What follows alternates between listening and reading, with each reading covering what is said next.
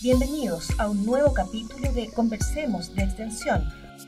¿Cómo están? Muy buenos días y muy buenas tardes. También saludamos de esa manera porque recuerde que estamos con las múltiples plataformas de la Universidad Bernardo Higgins, por lo tanto usted no puede estar escuchando de cualquier parte del mundo, que puede ser de día, de noche, tarde, etcétera. Porque así estamos ahora muy contentos porque además estamos sumando un nuevo programa aquí en la radio de la Universidad Bernardo Higgins y esta vez vamos a estar conversando de ciertos temas de cultura, de las actividades de la universidad, que por cierto han sido muchas. Y vamos a estar con eh, un nuevo programa. Ella es la directora de la Dirección de Extensión y Oficina de Atención Integral del alumno de la Universidad Bernardo Higgins, Claudia Vera. ¿Cómo estás, Claudia? Hola, Raúl. Bien, ¿y tú cómo estás? Bien, contento también porque la radio está funcionando y hacer conversando con la gente que es tan rico y que hace tanto falta en este periodo que estuvimos, eh, y algunos también se mantienen también en, sus casas, ¿no? Bueno, la verdad, un gusto estar acá. Gracias por la invitación, gracias por el espacio. Y como bien dices, creo que necesitamos poder compartir de alguna manera, poder tener esta interacción que, y qué más rico que, que, lo hagamos a través de la radio. La radio sabemos que es un tremendo medio de comunicación que definitivamente nos permite poder conversar, compartir eh, e interactuar eh, hoy día en tiempos en que está difícil. Está difícil. ¿Cómo ha estado su vida a propósito de difícil? Para más o menos conversar un poquito antes de meternos en tema. Ha estado bien, yo creo que ha costado un poquitito esto de la, de la cuarentena, fueron hartos meses. Te recuerda que nosotros fuimos el 16 de marzo por ahí a la casa, eh, con hijos adolescentes encerrados, que, es complejo. Uno que entró a la universidad este año, que no conoció nunca la universidad, que me imagino que también es el caso de algunos de nuestros estudiantes, ¿verdad? Así que nada, tratando de salir adelante, poniendo eh, empeño en ello y en tener un mejor ánimo para enfrentar lo que se viene y cuidándonos, ¿no? Porque hay que seguir cuidándose. Por supuesto, siempre el llamado es a cuidarse y mantener la distancia. Oye, y a propósito que usted mencionaba de lo complejo que había sido estar tanto tiempo confinado en la casa, la dirección de extensión en este caso jugó un rol, pero particularmente importante en, las distintas actividades que hizo la universidad. Cuéntenos un poco de eso. La verdad que fue un proceso bien difícil, porque eh, cuando uno eh, está acostumbrada ¿verdad? a trabajar presencialmente, eh, que era nuestro caso, donde todas las actividades, tanto académicas como culturales que hacíamos, las hacíamos acá en la universidad, de pronto cuando nos dicen hay cuarentena, estamos viviendo esta situación de pandemia tan grande, te quedas como paralizado pensando, ¿y ahora, ¿y ahora quién podrá defendernos? ¿Ahora qué hacemos? Y la verdad que en ese quehacer, o en esta preguntándonos esto, ¿qué hacemos? Eh, de pronto surgió eh, esta salida, porque en realidad hoy día todo tenía que ser virtual. Yo creo que eh, a pesar de haber, nosotros generalmente interactuamos mucho con la, con la tecnología, pero a pesar de ello no nos imaginábamos trabajando desde la tecnología absolutamente. Y eso fue lo que hicimos, nos reinventamos. Yo creo que la palabra es reinventarse eh, y comenzamos con todas las áreas de la universidad a poder eh, programar y planificar una extensión virtual. Eh, yo creo que ha sido un, gran aprendizaje, un tremendo trabajo colaborativo con todas las áreas de la universidad y también un ensayo de creatividad tremendo. Eh, siempre usamos toda la palabra creatividad y yo creo que hasta que no nos vemos como, como, como en el precipicio, eh, ahí recién la valoramos y comenzamos a decir, sí, tenemos que ser más creativos para, para trabajar. Y dentro de esa creatividad que usted menciona, eh, ¿cómo fue esta reinvención que ustedes tuvieron que hacer las actividades de manera virtual? ¿Cómo, cómo se sientan ahí? ¿Cómo empiezan a trabajar? ¿Cómo es ese proceso? Bueno, primero empezamos a ver, que evaluar lo que teníamos, que era una cuenta educativa de Zoom para 300 personas. Comenzamos a eh, ver lo que estaba haciendo el resto de las universidades también, o, a conversar con, otras áreas de extensión para saber lo que se venía. Em, nos reunimos con, las escuelas y con las direcciones eh, de la universidad para comentarles que, que, esta iba a ser la nueva modalidad y claramente todos estuvimos de acuerdo, era el único camino que teníamos en definitiva. En la parte de extensión académica, que después les voy a contar un poquito eh, cómo funcionamos nosotros, la parte de extensión académica fue un poco más fácil. Fue un poco más fácil porque incluso nos acercó a otros mundos, nos acercó a otros países. Esto de poder invitar a, personas que antes no tenían la opción de venir o porque el pasaje es caro o porque les costaba eh, eh, agendar, ¿cierto?, de acuerdo al calendario que ellos tenían. Eh, y entonces nos dimos cuenta que esto nos facilitaba el camino. Y eso también permitió un trabajo mancomunado con otras universidades del país, pero sobre todo con otras universidades del extranjero.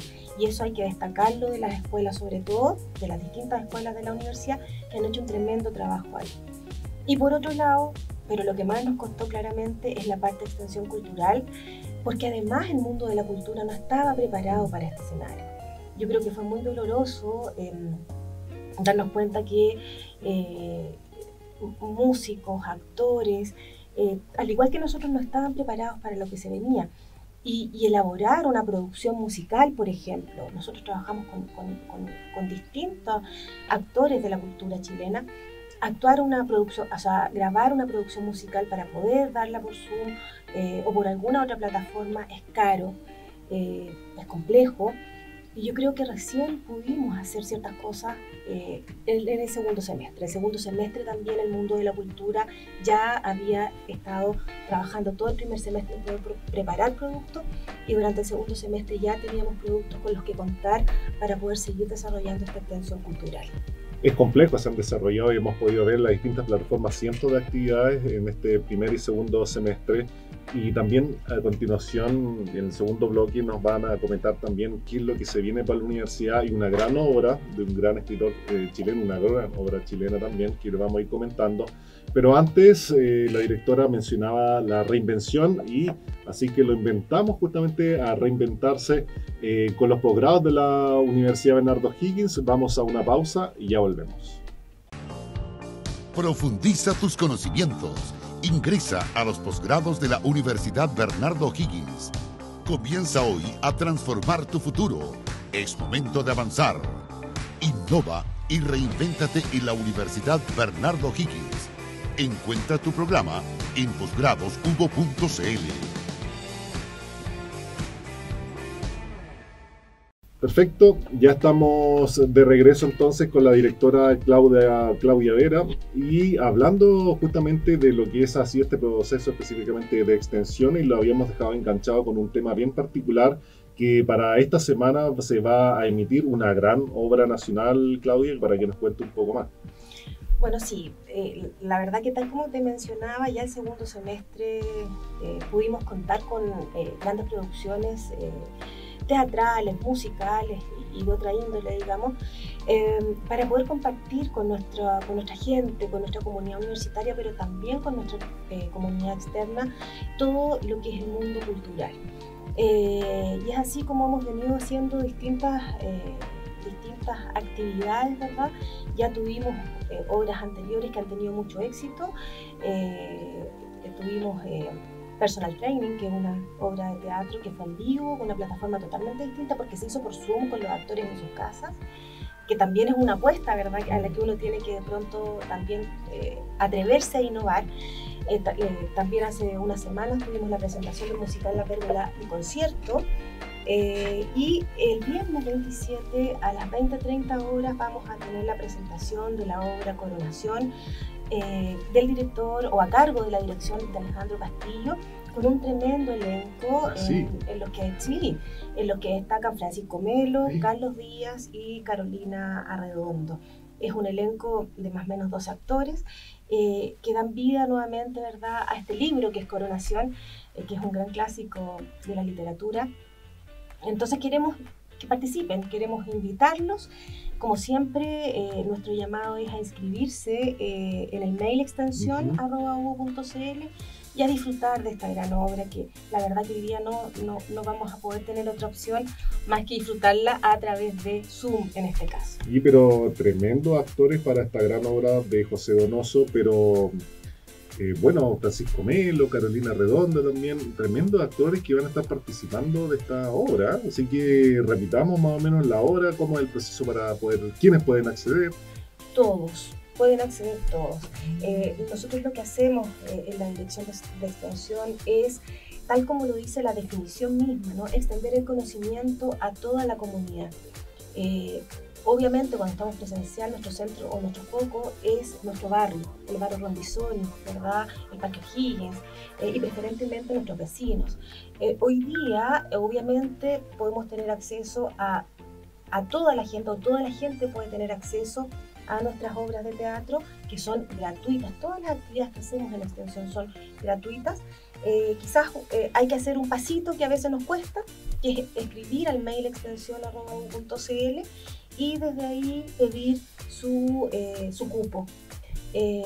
lo que hacemos nosotros es que el día de la obra, previamente, media hora antes aproximadamente, nosotros le mandamos el link o el ID a toda la gente inscrita. Hoy día ya teníamos más de 100 personas inscritas le mandamos el ID y ellos se pueden conectar directamente mm, mm, eh, mediante nuestra plataforma de Zoom, que nosotros mismos la tenemos abierta ese día y la compartimos con nuestros espectadores.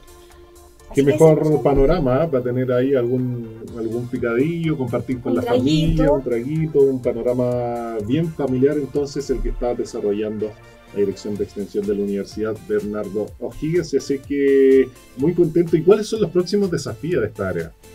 Mira, tenemos hasta actividades académicas todas las semanas. Eh, si la gente quiere enterarse, bueno, nosotros enviamos una agenda todos los lunes, nuestra agenda de extensión. Eh, si ustedes quieren enterarse, entren a hugo.cl, al, sitio de extensión y ahí podrán encontrar todas las agendas, ¿verdad?